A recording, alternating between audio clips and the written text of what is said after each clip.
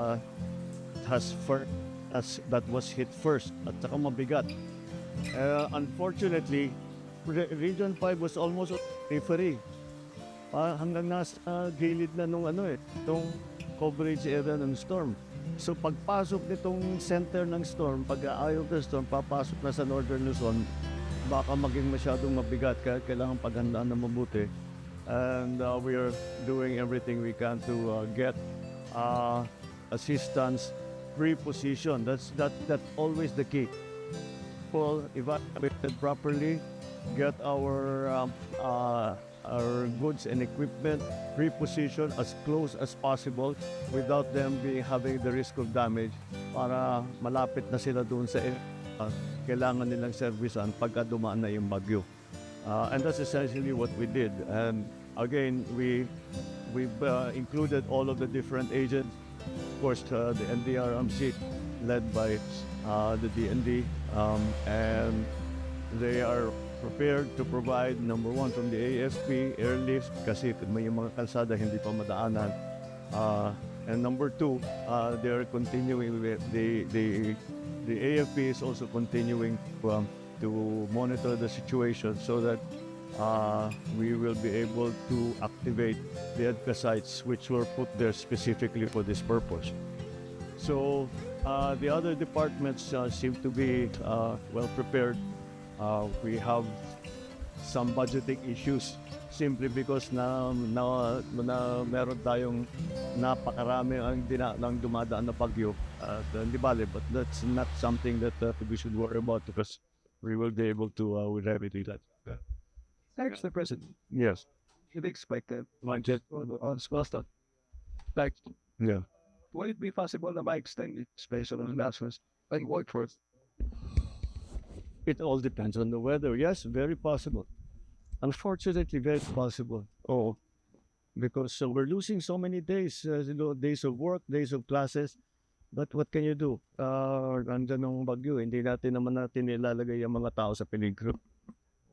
Sir, former Vice President Leder Bread is asking for help, in particular yung She's- boats. How soon? Yeah, as soon as we can get in, as soon as makapasok kami, uh, we will be doing that. And we will, we are now beginning to, to marshal our assets. Like for example, rubber boats. Hanggang Mindanao, kukunin na namin muna namin at dadali namin dito sa area na pangangailangan.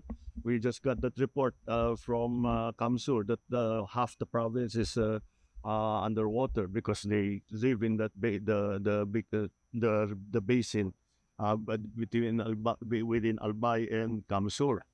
Kaya yun ang talagang na, ma, ma, tinama, tinatamaan lagi ng baha. So as soon as we can, we will come, we will go in. As soon as we can. Kung kailangan, kung di naman mailipad ng helicopter yun, so kailangan talaga, kailangan truck ang magpapasok eh. So, so as soon as mag, mag-clear, alam naman ni alam naman ng uh, DPWH ang gagawin nila at nakamonitor naman sila. Nandun naman ang mga tao nila, mga regional officers para magsabi what when they can come in. So that's what we're waiting for now. So wala wala na we we are at the mercy of the weather as we always are. So we will just have to wait for the true effects of uh, of uh, this typhoon, Christine. All right. Thank you. Thank you.